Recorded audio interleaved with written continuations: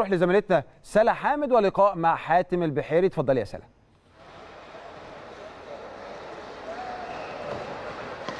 برحب بيك يا كابتن هيثم طبعا وبرحب بكل ضيوفك الكرام في الاستوديو وكل مشاهدي ومتابعي شاشة قناة النادي الأهلي في كل مكان. وبعد الفوز على نادي سبورتنج في ثاني مباراة من best of five في بطولة دوري السوبر للرجال يمكن معايا واحد من نجوم مباراة اليوم كابتن حاتم البحيري. كابتن حاتم طبعا في البداية برحب بيك على شاشة قناة النادي الأهلي ومليون مبروك.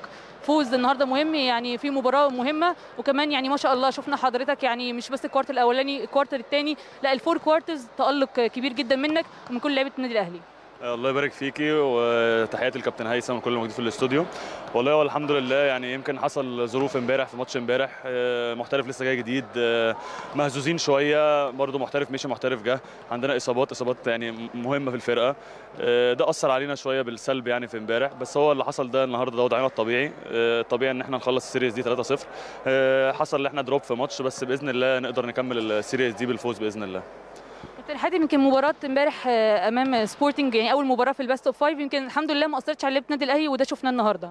والله إحنا متعودين ان دايما النادي الأهلي لعيبته تبقى تحت ضغط ضغط ضغط نفسي ضغط بدني.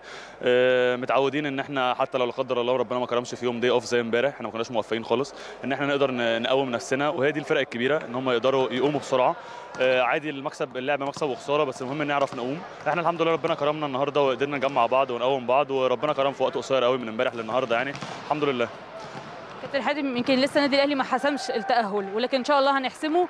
ويعني كلمني عن استعداداتكم إن شاء الله للمباراة القادمة أمام سبورتنج. بإذن الله التأهل يبقى من اسكندرية من أرضهم. بإذن الله عندنا ماتشين يوم الثلاث والأربع بإذن الله عندهم في الملعب بتاعهم. الماتشات دي يعتبر ماتشات كاس يعني كل ماتش وليه حسابه. بإذن الله خطوة خطوة بإذن الله بإذن الله ربنا يكرمنا في الماتش اللي جاي عندهم في أرضهم ونعدي بيه بإذن الله. كابتن حاتم بشكرك جدا ومليون مبروك وإن شاء الله بالتوفيق دايما. الله يبارك فيك ميرسي جدا. كابتن هيثم ده يمكن كان لقائنا مع كابتن حاتم البحيري واحد من نجوم مباراة اليوم والآن العودة مرة أخرى للاستوديو. سلا حامد بشكرك شكرا جزيلا وأكيد كمان بنشكر مينا ماهر على التغطية اللي بعد المباراة وما قبل المباراة.